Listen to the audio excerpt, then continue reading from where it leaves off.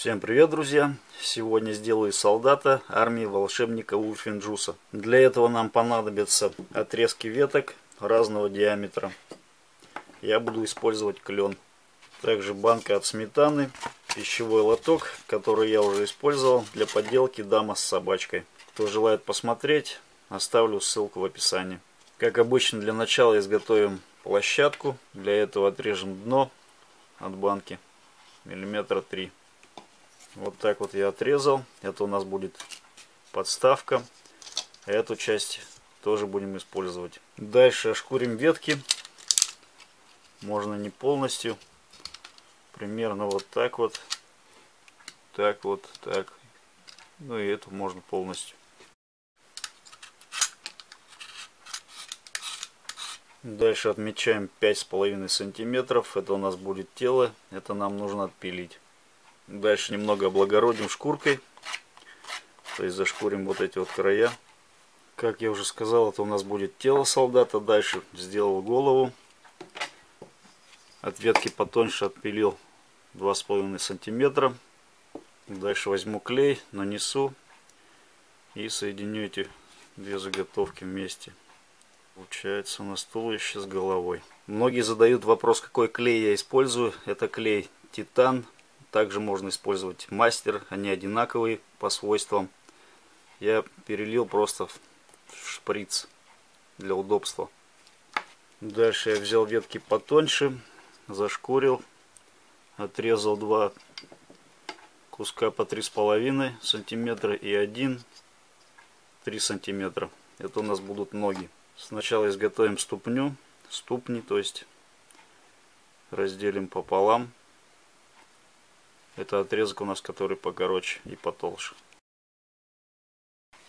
Ступни готовы. Далее на ногах сделаем вот такие вот выемки, выпилы, как можно правильнее назвать. Чтобы у нас вот сюда вот заходило. Вот так вот должно получиться.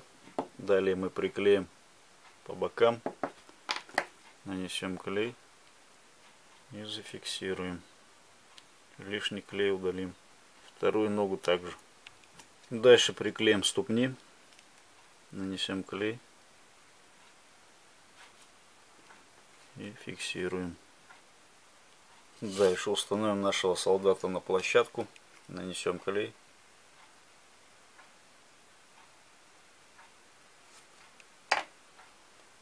И водрузим на место. Дальше из пищевого лотка изготовим руки. Для этого снимем замер сантиметров 5-4 с половиной. Меряем.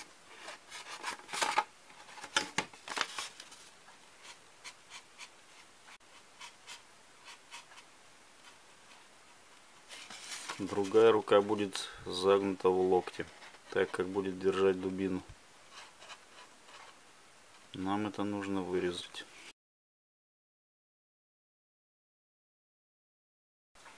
Одна рука вот такая получилась. Мы ее сразу приклеим.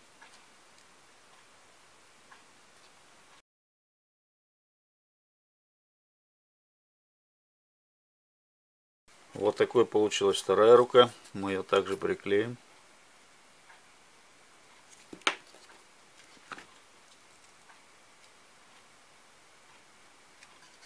Дальше возьмем ветку вот такой формы, то есть с веточками, и сделаем из нее дубину. Для этого откусим лишние. И будем вытачивать постепенно. Вот такая дубина у меня получилась. Далее мы ее приклеим к руке и на плечо положим. То есть нанесем клей.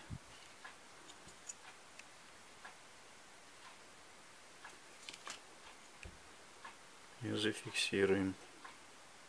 Надрежем немного пальцы, чтобы изобразить загиб. Дальше от банки отрежем полоску небольшую, примерно вот такую. Из этой полоски мы изготовим перо. Для начала вырежем вот так вот по контуру. Дальше произведем надрезы по обе стороны таким вот образом. Дальше постепенно будем выворачивать.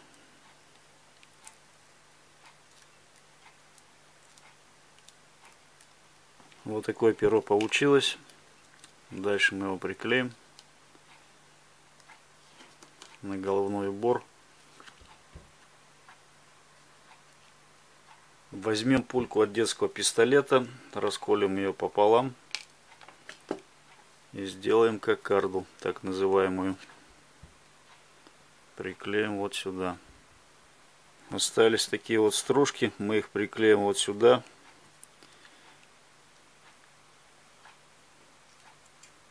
чтобы изобразить процесс изготовления. Дальше я покрашу солдата и будет виден конечный результат. Ну вот, друзья, работа закончена. Такой вот суровый получился солдат армии злого волшебника Урфинджуса. Спасибо всем за просмотр. Удачи. Пока.